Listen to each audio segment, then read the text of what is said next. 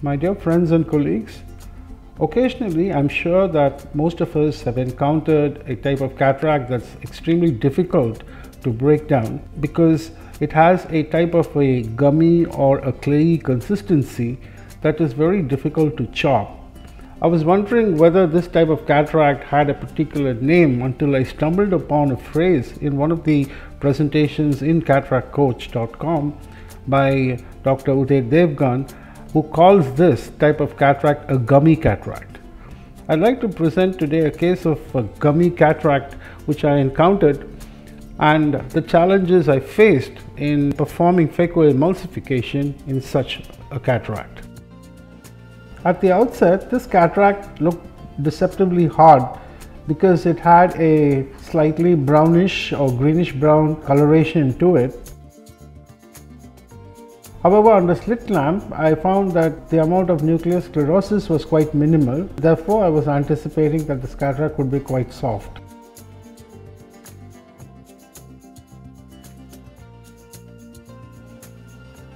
So after creating the clear corneal incision and going through the formality of performing the initial steps of phacoemulsification, I would like to show you how deceptive this cataract was in its management.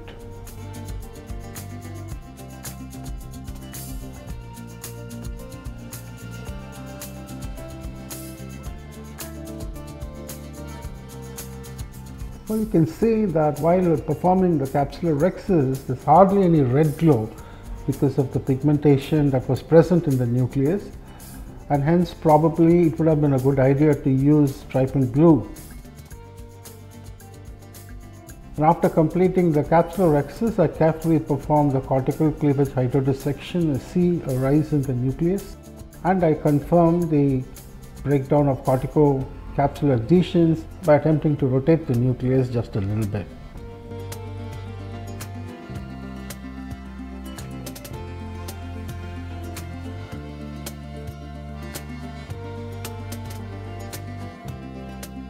Now comes the challenging part and that is the removal of this nucleus by phacoemulsification. I noticed that there was a tendency to, of the conjunctiva to balloon because of the location of the incision so made some relaxing cuts on the conjunctiva to prevent conjunctival ballooning later on in the procedure. I then progressed with the direct phaco chop using a phaco power of 30 percent it was easy to impale the nucleus. However, when I initiated the crack, I found that the nucleus was extremely sticky and gummy and I was not able to propagate this chop to the posterior plate. Now, this is an exclusive problem when you're handling the gummy cataract. The cohesive consistency of the cataract tends to hold the nucleus together. It is not brittle neither is it leathery but just the fact that these fibers tend to adhere and stick onto each other making it very difficult to create a satisfactory through and through separation of the nucleus. To make matters worse, the nucleus although it looks greenish brown in color has no amount of nuclear sclerosis of any kind and it's quite soft that you're not able to hold it with uh, even low power and vacuum as the nucleus gets emulsified and the hold gets compromised. The best way therefore to handle these gummy cataracts is to make as many small direct chop movements as possible to create as many fragments as possible. I just hope that one of these fragments will work itself loose and follow the phaco tip into the central safe zone where it can be removed.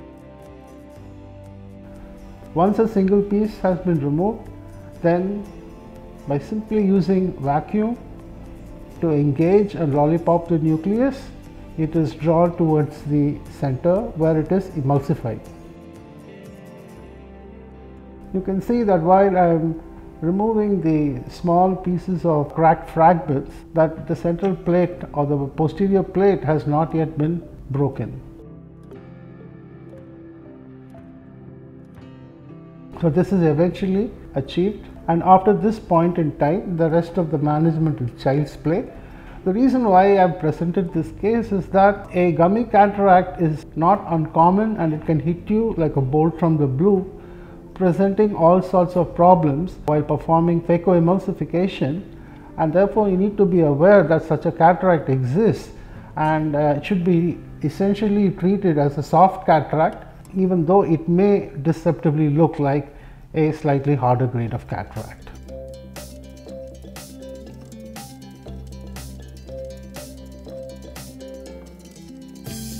Epinuclear shell is now being removed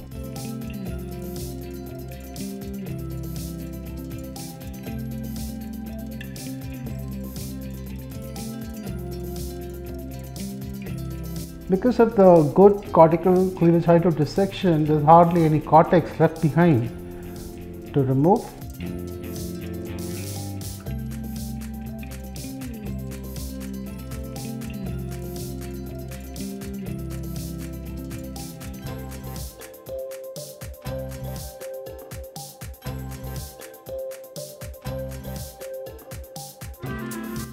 This is a Tecnis 1 hydrophobic acrylic monofocal lens. I have no financial interest in the product.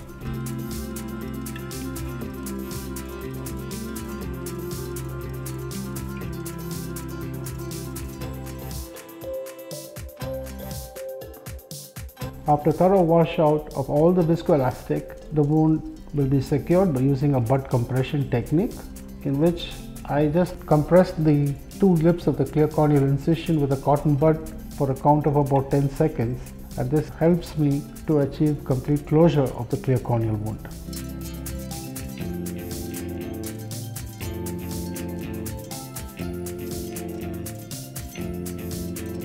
I thank you very much for your attention.